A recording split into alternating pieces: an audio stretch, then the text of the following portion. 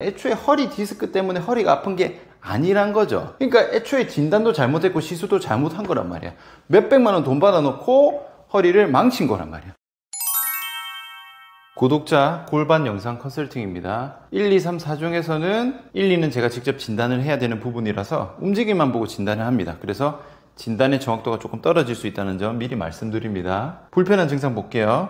걸을 때 양쪽 고관절을 만져보면은 양쪽에서 뭔가 부드럽지 못하게 돌아가는 듯한 느낌이 든대요. 그리고 또 걸을 때 신경 쓰일 정도로 크진 않지만 손을 대보면은 관절이 안 맞다는 느낌이 든다. 그러니까 여기 뭐가 안 맞는 거죠. 그리고 엉덩이 운동을 할 때 오른쪽은 그나마 잘 쓰이지만 왼쪽은 잘 안 쓰이고 고관절 쪽이 쓰이는 느낌이 납니다. 자, 두 개 다 뭔가 관절이 안 맞아요. 뭔가 불안정한데 엉덩이 운동을 하면은 왼쪽은 잘 안 쓰인대요. 그리고 근육이 쓰이는 느낌이 아니라 뭔가 관절이 쓰이는 느낌이 납니다. 두 개 다 안 좋은데 왼쪽이 더 안 좋다. 자, 오래 앉아 있다가 일어서거나 누워 있다가 일어설 때, 앉았다가 일어설 때, 골반 쪽이 뻐근하면서 두두두둑 소리가 난대요. 원래 소리가 안 나야 정상인데 뭔가 안 맞는 거죠. 역시 안 맞습니다. 영상 1. 자, 스쿼트입니다. 스쿼트 영상 보내 주셨는데 골반 왼쪽이 불안정하고 엉덩이 자극이 잘 오지 않습니다. 왼쪽이 확실히 더 안 좋아요. 그리고 오른 다리를 뒤쪽으로 드는데 왼쪽이죠. 그러니까 오른 다리를 드니까 왼쪽 한 다리로만 지지를 하는데 이때 골반이 안 맞는 상태에서 돌아간다는 느낌이 납니다. 그럼 전반적으로 왼쪽 고관절이 뭔가 더 안 맞다. 이렇게 볼 수 있어요. 그리고 고관절을 많이 굽히는 런지를 하는데 너무 무리하게 고관절 굴곡에 신경을 쓰다 보니 신경이 눌려졌는지 왼쪽 허벅지 쪽이 마취된 느낌이에요. 근데 2, 3주니까 오래 갔죠. 많이 안 좋았던 거예요. 그러니까 이게 웃긴 게 뭐냐면 이분이 뒤에 PT를 받았어요. PT 하는 사람이 잘못 시킨 거예요. 런지 하면 안 되는 사람들 억지로 런지를 시키고 고관절 굴곡에 신경 쓰다 보니 눌린 게 아니라 정확하게는 고관절 굴곡이 안 되는 사람한테 강제로 굴곡을 세게 시키니까 지금 신경이 눌린 거란 말이야. 그래서 이거는 100% PT한 사람이 잘못 시킨 거예요. 뒤에 설명해서 한 번 더 말씀을 드릴 거예요. 제대로 고관절 굴곡이 되면 신경이 눌릴 일이 없죠. 그리고 시간이 지나서 많이 회복되었으나 아직도 약간 신경 쓰이는 정도인데 병원에는 안 가도 괜찮으니까 안 가도 됩니다. 병원 가봤자 의미 없어요. 아무 의미 없습니다. 왜냐? 지금 고관절 굴곡했을 때 아파서 병원 가면 병원에서 고관절 굴곡했는지 런지 하는지 신경 쓸 것 같아요? 안 씁니다. 그냥 MRI 찍고 또 시술할 거란 말이에요. 이 사람이 이미 시술하고 이렇게 됐거든요. 뒤에 계속 볼게요. 일단은 왼쪽 고관절이 확실히 안 좋아요. 걸을 때, 앉았다 일어설 때니까 스쿼트죠? 왼쪽 고관절이 일단 불안정한 상태. 여기서 착각하면 안 되는 게 전체가 다 골반이고 고관절은 어디다? 요 부분. 요 부분이 고관절입니다. 여기서 허벅지뼈가 이렇게 움직여야 되는데 이게 뭐가 안 맞는 상태예요. 고관절이 안 맞다는 거는 여기를 얘기하는 겁니다. 자, 얼마나 됐나요? 허리 디스크 신경 차단술 이후부터 생겼대요. 시술 받고 생겼어요. 시술 100% 잘못한 거지. 3년 정도 됐습니다. 좀 오래됐죠. 그러니까 이 신경 차단술 이 한 병원이 완전 의사기꾼 병원인데 한번 봅시다. 신경 차단술 흔히 말하는 시술입니다. 시술. 수험 생활을 하다 보니 오래 앉아 있고 운동을 안 해서 허리가 아파서 MRI를 찍었는데 있었는데 허리 디스크가 나왔대요. 그래서 의사분이 시술을 해야 된다 했대요. 그 말은 뭐예요? 아, 당신이 허리가 아픈 것은 허리 디스크 때문입니다라고 얘기했겠지. 근데 중요한 건 뭐다? 시술 후 효과는 거의 없었습니다. 이게 뭐야? 이거 완전 이거 의료 사고 이런 거 다 의료 사고로 봐야 됩니다. 시술 안 했어도 지금이랑 비슷할 것 같은데 그때는 시술해야지만 허리가 낫는 줄 알았습니다. 이 말 누가 했겠어요? 이놈이 했겠지. 이놈이 이놈이 돌팔이 놈이 했겠지. 보세요. MRI 찍어서 허리 디스크가 나왔어. 그거는 사실이지. 근데 허리 디스크랑 허리가 아픈 거랑은 이 관계가 없습니다. 지금 대한민국 이걸로 세뇌됐어요. 보세요. 의사 말대로라면 허리 디스크 때문에 허리가 아프잖아요. 그러면 허리 디스크에 대한 시술을 했잖아. 그러면 허리가 안 아파져야 되는데 효과가 거의 없었다는 말은 애초에 허리 디스크 때문에 허리가 아픈 게 아니란 거죠. 그러니까 애초에 진단도 잘못했고 시술도 잘못한 거란 말이야. 몇백만 원 돈 받아놓고 허리를 망친 거란 말이야. 왜냐? 효과가 없었고 플러스 왼쪽 고관절 불안정한 증상이 더 생겼잖아요. 그러니까 이거는 의료사고로 봐야 됩니다. 솔직히 말하면. 근데 당연히 의료사고로 인정 안 하겠죠. 왜냐? 시술은 잘 됐습니다라고 말을 할 거니까. 그래서 여러분들이 생각하셔야 되는 게 병원에서 허리 디스크가 있으면 무조건 허리 디스크 때문에 허리가 아프다고 하지만 시술이나 수술하고도 효과 없는 사람이 엄청 많습니다. 여러분들 잘 모르죠. 저는 오시는 분들이 너무너무 많기 때문에 그리고 병원에서는 자기들은 치료 잘한 걸로 치기 때문에 모르는 거예요.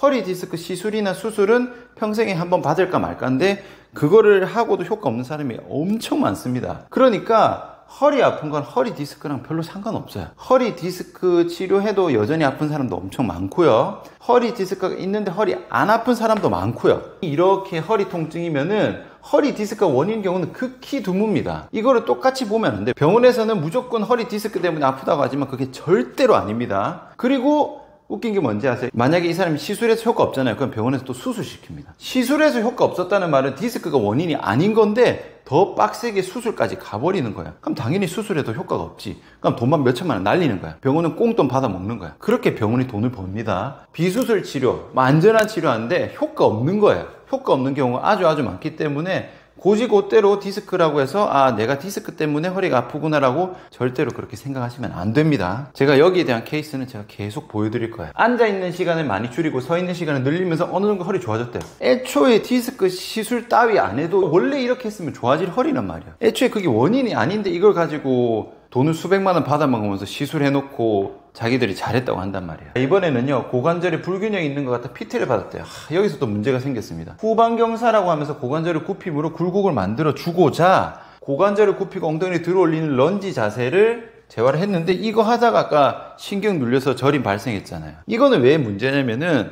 아까 보시면 아시겠지만 이 사람이 한 다리로 지지 못해요. 왼쪽은 지금 조금만 움직여도 자극도 잘 안 오고 불안정한 느낌이 있는데 스쿼트도 안 된단 말이야. 스쿼트도 제대로 안 되는 사람한테 런지를 시키니까 당연히 고장이 나지. 이거는 이제 걸음마 연습해야 되는 사람한테 바로 그냥 100m 달리기 시킨 거예요. 지금 재활 PT 하는 사람들 중에서 이런 실수를 하는 경우가 되게 많습니다. 왜 그러냐면은 재활은요, 사실 특별한 자격증이 없죠. 특별한 분야로서의 전문성이 없습니다. 재활 트레이닝하고 물리치료랑 다른 거예요. 어쨌든 재활 트레이닝을 전문적으로 딱 하는 게 아니라 그냥 트레이너 하다가 그냥 필라테스 하다가 그냥 물리치료사 하다가 그냥 대충 그냥 재활하는 거야. 정말로 재활을 공부해서 재활을 하는 게 아니라 재활을 제대로 이해를 못하는 사람들이 이런 식으로 시킨단 말이에요. 이 사람이 이 운동을 할 수 있는 상태인지 아닌지를 구분을 안 하고 어 고관절 불균형 있네요. 이거는 말만 들어도 알잖아. 누구나 알잖아. 불균형 있는 거를 어떤 운동을 시킬 것인가가 핵심인데 그냥 골반도 아무거나 시키는 거야. 그러니까 이게 난이도 조절을 형편없이 하는 이 재활 트레이너들이 너무 많아지고 있어. 물론 제대로 하는 사람도 많고 개판으로 하는 사람도 많은데 이 사람은 개판으로 하는 사람. 런지를 할 수 없어요.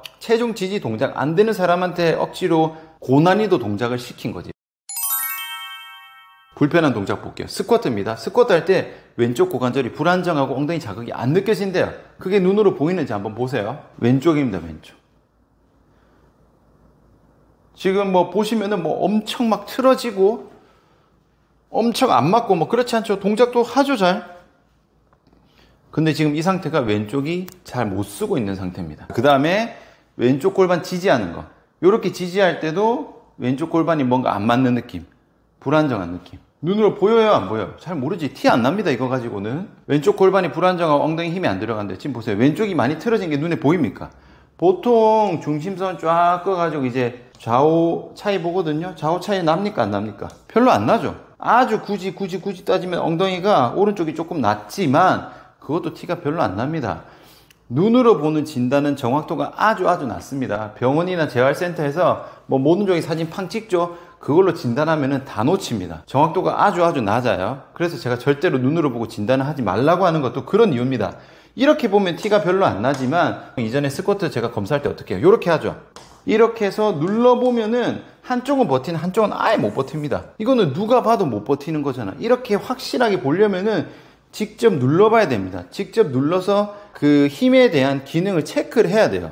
눈으로 보는 게 아닙니다. 그리고 지금 한 다리 설 때 왼쪽 고관절 불안정하다 했는데 이거 보여요 안 보여요? 티 안 나죠? 그러니까 이거를 불안정한지 안 불안정한지 이런 거를 직접적으로 밀어보거나 이렇게 체크를 안 하고 사진으로만 찍고 그냥 눈으로만 보면요 어 이상 없네라고 한단 말이에요 이거 가지고 이렇게 이렇게 모노종이 꺼가지고 뭐 1mm 빠졌네 2mm 빠졌네 이런 진단은 적어도 재활에서는 정확도가 아주 낮습니다. 그거는 진단으로서 의미가 거의 없다고 봐도 됩니다. 체형을 판단할 때만 보는 거지 그걸 가지고 기능을 진단하는 게 아니에요. 그 다음에 자 고관절 가동성 볼 건데 80도 정도는 올라가 줘야 됩니다. 여기 무릎 있죠? 무릎선은 한참 넘어가야 되거든요. 이거 한번 볼게요. 드는데 아 여기까지밖에 못 가죠. 한참 떨어지죠. 한 여기까지는 올라가야 되는데 지금 오른쪽도 가동성이 많이 떨어집니다. 왼쪽도 볼게요. 왼쪽도 넘어가야 되는데 아 이것도 여기까지 가야 되는데 한참 못 넘어가죠. 자 보시면은 한 여기까지 가야 돼요. 얘도 한 여기까지 가야 됩니다. 근데 두 개 다 한참 못 가기 때문에 두 개 다 이 다리 뒤쪽이 아주 타이트한 상태입니다. 두 개 다 그래요. 그 다음에 엉덩이 근육 자극 잘 들어오는지. 자 볼게요. 여기서 허벅지가 좀 돌아갑니다. 보세요. 자 여기서 왼쪽 보는데요. 엉덩이 드는데 지금 보이세요? 이게 허벅지가 바깥으로 돌아갑니다 그대로 드는 게 아니라 얘가 살짝 돌아갔어요. 애초에 엉덩이가 잘 안 들어오니까 틀어서 드는 거예요. 얘는 그대로 그냥 올라가는데 얘는 허벅지를 좀 돌려서 들어 올리거든요. 다시 보세요. 돌아갑니다. 돌아가요. 그래서 어느 정도냐? 왼쪽은 4 정도밖에 안 들어오고 햄스트링 힘이 많이 들어가요. 그러니까 엉덩이 안 들어가니까 보상작용이 햄스트링으로 많이 가고 있다. 얘가 틀어진 게 보입니다. 오른쪽은 구니까 되게 잘 들어가고 있어요. 왼쪽, 오른쪽 두 개 다 타이트하지만 오른쪽은 힘은 잘 들어가고 왼쪽은 타이트한데 힘도 안 들어가는 거예요. 자, 고관절 안정성 보겠습니다. 자, 한 다리로 버티는 거. 자, 여기서 왼쪽 다리 버티는 거. 자, 잘 버티는데, 어? 뭐야? 벌써 떨어지죠? 균형 못 잡는 느낌은 아닌데. 자, 오른쪽으로 버틸 때는, 어, 흔들은다, 어, 너무 빨리 떨어져요. 다시 왼쪽 보겠습니다. 좀 이번엔 좀 버티네요. 근데 좀 흔들흔들하죠? 좀 빠지는 느낌이 있습니다. 어, 이번에는 좀 버텼어요. 다시 오른쪽 한 번 더 볼게요. 오른쪽으로는, 어 오른쪽도 사실 뭐, 그렇게 좋은 느낌은 아니죠. 두 개 다 좀 불안정합니다. 왼쪽 다리를 올리는 것. 왼쪽 다리를 올린다는 게 오른쪽 다리로 버티는 거죠. 오른쪽 다리로 버티는 게 6이에요. 근데 웃긴 게 왼쪽 다리를 올렸을 때 이 올린 요걸로도 불편하대요. 그러니까 굴곡이 엄청 안 되는 거죠. 굴곡이 뭔가 안 맞는 겁니다. 요렇게 오른 다리로 버티는 게 6. 오른 다리 올려서 왼쪽 다리로 버티는 게 4. 그러니까 아까 봤을 때 두 개 다 안 좋았죠. 안정성은 왼쪽이 더 안 좋지만은 오른쪽이 좋지도 않다. 그리고 요거 할 때 요거 드는 것조차도 불편하니까 왼쪽 고관절 굴곡은 아주 아주 많이 안 좋다. 이제 무릎까지 써서 잘 움직이는지 볼 거예요. 왼쪽 다리부터 볼게요. 내려갑니다. 어, 요거는 그렇게 무릎 자체가 많이 흔들리거나 불편해 보이진 않아요. 어, 잘 내려가긴 합니다. 무릎은 괜찮은 것 같아요. 근데 이번에 오른쪽 보세요. 어, 보시면은, 어, 흔들리고, 지금 얘가 더 못 굽힙니다. 오른쪽 무릎을 더 못 내려가고 있어. 조금만 올라가고 지금 바로 올라가 버립니다. 뭔가 불안한 거예요. 무릎은 오른쪽이 더 안 좋아요. 비교해 보시면은, 굽혀지는 정도를 보면은, 이쪽 무릎이 굽혀지는 정도보다 얘가 덜 내려갑니다. 더 많이 못 내려가요. 무릎은 오른쪽이 좀 더 안 좋아요. 정리해 보면은 이렇게 됩니다. 일단 우선적으로는 두 개 다 엄청 타이트합니다. 뒤쪽에 전부 다 타이트 할 수도 있고 어딘가 타이트 할 수도 있는데 어쨌든 요 중에 어딘가는 굉장히 타이트하다. 그리고 왼쪽 고관절은 앞, 옆, 뒤 다 풀렸다. 두 개 다 불안했기 때문에 오른쪽 중둔근도 빠져 있을 거고 오른쪽은 무릎이 조금 더 약한 상태. 이렇게 됩니다. 그리고 아마 왼쪽 고관절 여기 다 빡빡할 거예요. 주변에 눌러보면은. 왼쪽 고관절은 확실히 많이 안 좋은 상태입니다. 정황상으로 보자면은 이분이 이대로 계속 가면 아마 오른쪽 무릎이 먼저 무리가 갈 거예요. 여기서 더 안 좋아지면은. 뭔가 왼쪽 고관절이 잘 안 쓰이는 게 오른쪽 무릎으로 보상작용이 넘어가고 있는 느낌이 있어요. 이게 런지 동작입니다. 고관절의 굴곡인데 굴곡을 조금 많이 시켰으니까 아마 상체를 좀 더 숙이게 했을 거예요.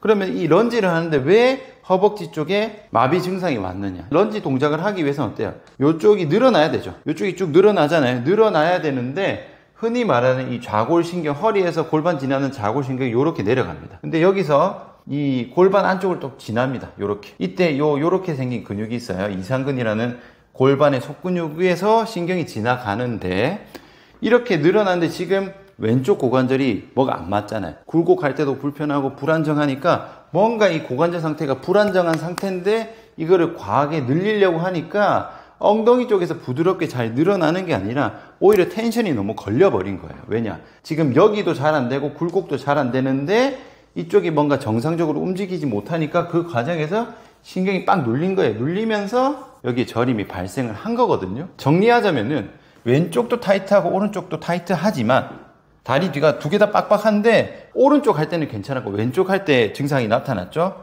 왼쪽 고관절이 불안정한까지 같이 있으니까 이게 신경이 눌릴 조건까지 가버린 거예요. 그리고 한두 번 한 게 아니라 분명히 이걸 재활시켰으니까 여러 번 억지로 시켰을 거란 말이에요. 그러니까 점점 점점 눌린 거예요. 그래서 발생을 한 건데 웃긴 게 보시면은 병원에서 어, 다리 저려요 해서 병원 가면 어디 검사합니까? 무조건 허리 검사하죠? 이 다리가 저린다는 증상이 여기서 신경이 어딘가 눌리는데 허리에서 디스크 때문에 눌릴 수도 있고 골반에서도 눌릴 수가 있단 말이에요. 왜냐 다 지나가니까. 그러면은 이거일 수도 이거일 수도 있으면은 두 개 다 검사를 해가지고 예를 들어 디스크가 없는데 저려. 그러면은 골반 쪽에 문제가 되는 거고 골반 쪽에는 문제가 없는데 저려. 그러면은 디스크에 문제가 있다고 볼 수가 있겠죠. 이게 상식이잖아, 상식. 근데 병원에서 다리가 저리거나 혹은 어 지금처럼 골반이 불안정해요. 골반이 찝혀요. 그럼 어디 검사하는지 아세요? 무조건 허리 MRI 검사합니다. 골반이 아프고 허리 괜찮다고 해도 허리 MRI 검사한단 말이에요.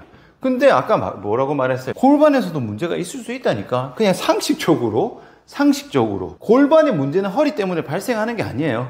골반은 골반 때문입니다. 허리도 아무 이유 없이 허리가 아픈 게 아니라 골반의 기능이 떨어지면 허리로 넘어가는 겁니다. 우리가 허리를 씁니까? 골반을 씁니까? 골반 고관절을 움직이잖아. 앉았다 일었을 때 걸을 때 골반이 중심인데 절대로 골반 검사 안 합니다. 왜냐하면 골반에서 볼 게 없어. MRI 찍으면 아무것도 안 나오잖아. 고작 해야 되는 게 그냥 엑스레이 찍고 뭐 높이 다르네요. 뭐 뼈는 이상 없습니다. 이 말밖에 못 한단 말이야. 하지만 허리를 찍으면 어떻게 돼요? 허리 MRI를 해야 아 이거 디스크 탓입니다 해가지고 시술하면서 수술로 돈 벌 수 있다니까. 그리고 심지어 이거렇게 해도 안 나와도 상관없어. 자기들은 수술 잘했습니다. 시술 잘했습니다. 퉁치면 그만이니까 밑재야 본전이 아니라 무조건 하는 게 이득인 거야. 하지만 뭐다? 골반입니다. 골반. 허리 안 좋은 사람 골반 제대로 기능 안 잡고 여기만 치료하잖아요. 당장 좋아진 것 같아도 시간 지나면 무조건 재발합니다. 무조건 재발해요. 제가 이후에 허리 시술하거나 수술해도 안 낫는 사람 케이스도 앞으로 계속 수도 없이 보여드릴 겁니다. 제가 이거 너무 답답해요. 돈은 돈대로 날리고 몸은 몸대로 날리고 허리는 허리대로 날리는 사람이 수도 없이 많아요. 자, 재활 순서 어떻게 가야 돼? 일단은 이분은요, 허벅지 너무 타이트합니다. 그 정도 타이트하면은 허리에 텐션 너무 많이 가요. 무조건 허벅지 뒤쪽에 아까 종아리랑 발바닥까지 포함해서 마사지 다 풀어주시고 스트레칭까지 꼭 하셔야 됩니다. 그래서 정상 범위까지 무조건 일단 만들어요. 이게 제일 먼저입니다. 그 다음에 고관절 틀어진 거 잡아야 되는데 왼쪽이 더 불안했죠. 왼쪽 먼저 잡으셔야 됩니다. 그 다음에 누워서 먼저 세팅하고 서서 할 때는 두 다리로 잡은 다음에 한 다리까지 진행을 하셔야 돼요. 지금 요 중심화 운동 뭐 하나요? 많이 물어보시는데 이것도 사실 종류가 엄청 많은데 따로 요거 잡는 방법 영상을 간단하게 올려드릴게요. 근데 한두 가지가 아니기 때문에 순서가 중요합니다. 어쨌든 누워서 하는 골반 운동을 위주로 한다. 이렇게만 생각하셔도 괜찮아요. 누워서 먼저 하셔야 됩니다. 그러니까 지금 이분이 좋아지려면 골반을 잡아야 됩니다. 허리 막 시술하고 수술하고 주사 맞고 이거 할 때가 아닙니다. 고관절 굴곡을 제대로 만들어주는 게 최종 목적지라고 생각하시면 돼요. 자, 아픈 곳이 아니라 아픈 원인. 허리 아프다고 허리 보면 안 돼요. 안 낫습니다. 제가 수도 없이 말씀드렸어요. 부분이 아니라 전체입니다. 오늘 영상은 여기까지입니다. 수고하셨습니다.